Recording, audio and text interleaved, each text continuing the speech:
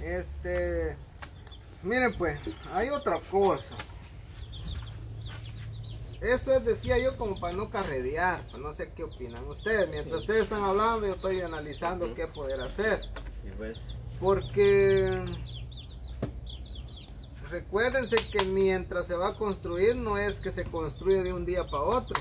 Sí, no es cierto. Estamos hablando de unos dos meses o tres meses de trabajo. ¿Y dónde van a estar esos dos o tres meses? De todas maneras, si aquí llegaran a vender la casa, tienen que desocupar, pero no se pueden ir para allá tampoco. Ajá, sí, cierto. Así es, hermano Pablo. Pero por la necesidad, este, a ver cómo se hace, va, en que sea baja de un palo estamos, pero tuviera un nailo por ahí, a mí no me da vergüenza. Sí, ajá, porque no ando robando para que ando escondiéndose, no. eh, Tomó, ahí está el, el terreno, ya está comprado, gracias a usted también que, que ya tenemos el pedacito, ya es propio y en que sea con nylon, a ver cómo se hace ahí, pero ya estando uno ahí en lo propio no está pagando uno. Ajá. Sea que está serio el negocio, hombre. Sí. Así nos dijeron, sí, tan serio. Primero vinieron a verla por fuera. Ah, le tomaron por fuera.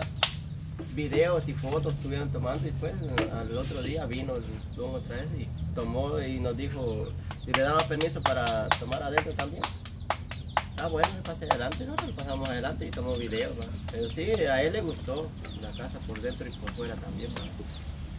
Eh, y nos comentaba que sí, sí, más que todo, sí la van a comprar. O sea que aquí una granja de pollos piensan poner. Así nos dijo, Sí. así nos comentó eso.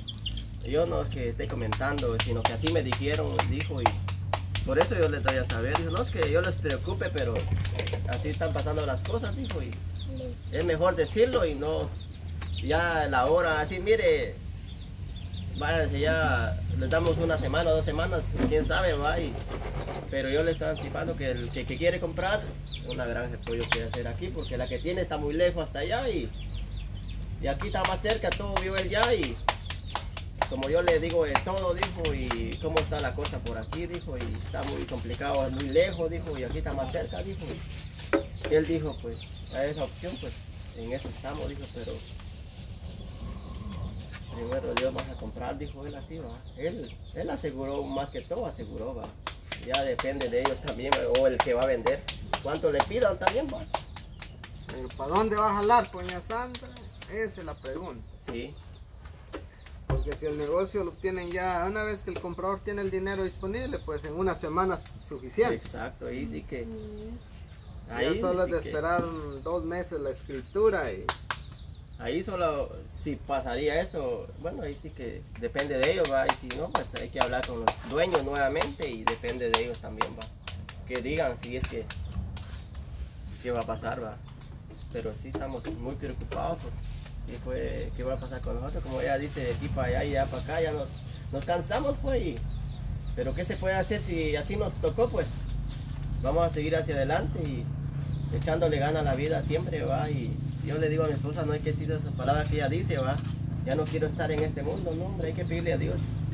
Eh, eh, tal vez son muy duras las cosas que nos pasan, pero hay que tener fe en Dios. Yo sé que un día eh, vamos a salir de toda esta situación. Yo siempre creo en Dios siempre mucho y yo le pido a Dios siempre en las mañanas, más en las mañanas le estoy pidiendo más. Yo le pido de todo corazón que Dios nos pueda ayudar de tantas cosas que nos vienen. Yo sé que yo le pido fortaleza a Dios siempre y sabiduría porque es lo importante. Hay cosas que nos están pasando que, miren mis hijos, ahí está mi hijo grande que diga son mentiras lo que nos pasa. Él ya sabe todo, él ya está grande, él sabe lo que nos está pasando. Ahí está él que diga, él puede decir algunas palabras si son mentiras o es verdad. Todo lo que nos pasa en realidad, y si a veces comemos no comemos, pero solo nosotros sabemos a veces. Pero ahí está él que habla. Digo, "Mira, sí, sí". Habla un poco, vos también porque así que pasan las cosas a veces. Uno quiere dar lo mejor a sus hijos, pero desgraciadamente nos tocó así, pero yo les digo a mis hijos que, que tengan paciencia. Yo espero un día yo poder ahí darle lo que ellos se merecen. ¿Cuántos años tenés, Ariel? 12 años. ¿Te das cuenta de todo lo que pasa? ¿Qué hace tu mamá cuando no tienen para, para comer? ¿O o qué es, lo que, qué es lo que hace tu mamá cuando tú le decís, mamá quiero y, y no tienen? ¿Qué hace tu mamá? Mm, Se pone, se pone triste ella porque cuando le pedimos, día y amigo no tenemos, dice ella. Y pues yo me pongo muy triste también porque a veces comen ellos, a veces, a veces no. Y pues me pongo muy triste y ellos también. Le pido a las buenas personas que lo que van a ver este vide- video que nos apoyen porque tengo palabras como decir más.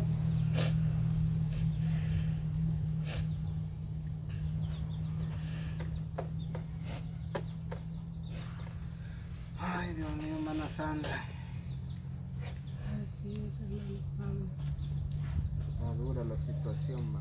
Sí, está dura la situación, pero también Dios me da fortaleza para seguir adelante, para luchar, para tener, ya, primero Dios, que estoy pidiendo que, que por la casita, ¿verdad?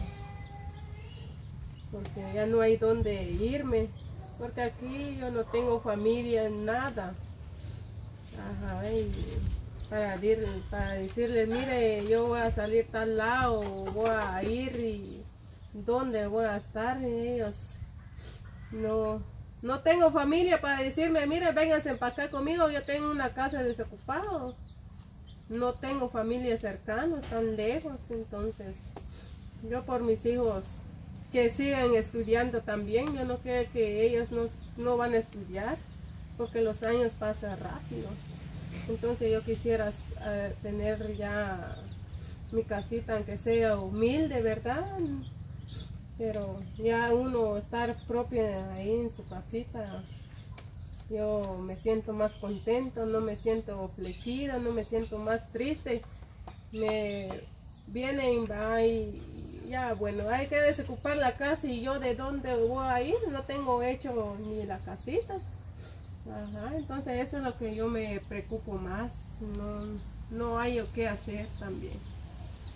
Ajá. Ay, cuando le venga a decir a alguien a uno así, pues mire, le damos una semana. Ay, uno siente que los días son como una hora, pasan Sí, rapidito. así es. Ay, Pues fíjense que tratando el tema de eso, pues supongamos que si así fuera, que llegaran hasta hacer negocio los señores, ¿va? los dueños de la casa, la vendieran, pues aquí hay dos cosas. Plan A es no sé qué hacer, va.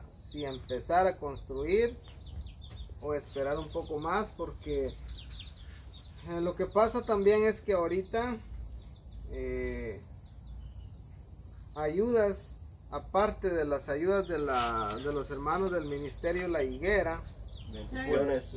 no, no hay más. No ha habido más y solo las ayudas de ellos. Tenemos un promedio como de 20 mil quetzales después de que se descontó todo lo, lo que se hizo allá para arreglar el terreno. Pero con esos 20 mil quetzales podríamos empezar. Podemos empezar.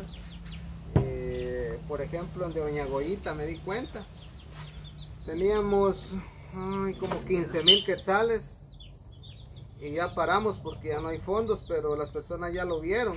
Quedó como, como cuatro hiladas arriba del- de la ventana, toda la vuelta. Entonces, con 20 mil, dependiendo si fuera un poco más grande, podríamos llegar como a eso mismo también. Sí, pues. Así es, hermano Pablo. Pero hay otra cosa. Que no tengo albañil disponible por el momento. Es otra cosa. Porque mi papá, eh, ustedes lo saben, lo vieron, él no va a poder estar trabajando por el momento. No sé hasta cuándo. Sí, pues. Porque don Sergio, que es el otro albañil de allá, eh, va a ser la casa de don Juan de Dios. Entonces, eso sería lo otro. Y lo tercero sería que si en caso negociaran la casa, pues tendríamos que ver para dónde llevarlos de una o de otra forma, porque como les vuelvo a repetir, una casa no se hace en, dos meses. Dependiendo del tamaño de la casa, sí se lleva más tiempo. Ajá. Porque ya se dieron cuenta ustedes, la casa de Ñagoita solo tiene dos cuartos de 350 por 350 y el corredor de 7 metros por 350, casi, casi 4 metros. Ahora bien, allá de ustedes tendríamos que hacer la casa en otra forma. Hacerla como a lo largo con vista para la otra, hacia donde está la escuela, para que nos quepan dos cuartos así, con un corredor y cocina.